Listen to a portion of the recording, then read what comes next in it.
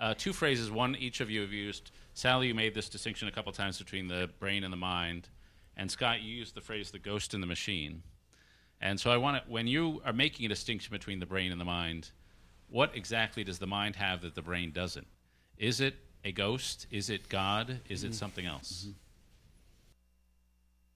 I can tackle that. I, um, so I think it is probably the case, but I don't know for sure, that the brain and the mind are addressing very similar kinds of properties, but at different levels of explanation.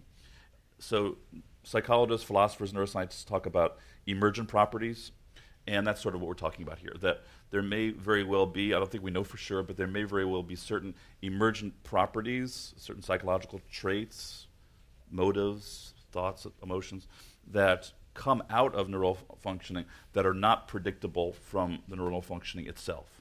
And I think that is the argument that we make for a domain of mind. I wouldn't think of it as a ghost in the machine, but um, but a domain of, of, mind that's separate from that of, of brain.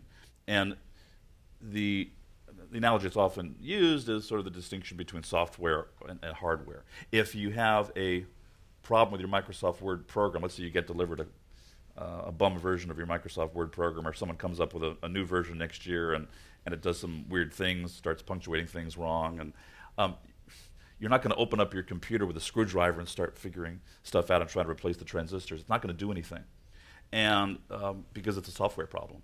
And many of us, myself included, suspect that a lot of psychological problems, psychological disorders, are in part, certainly, there's no question there are hardware problems that can give rise to, to mental disorders, but there are also issues of, of learning, uh, cultural factors, social factors that contribute to mental illness that probably do not stem strictly from hardware problems. And in that respect, a focus on the brain level of analysis can be worse than useless because it can distract us away from where some of the core problems may lie.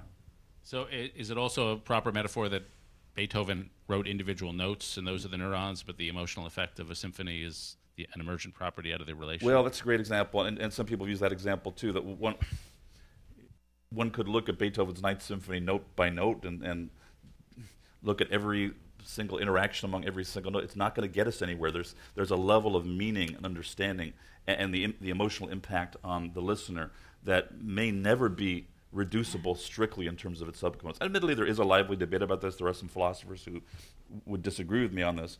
But the one thing I don't think we can disagree on is that we are nowhere near a full explanatory reduction of the mind to the brain. We're nowhere. We're maybe a few thousand years away at, at best.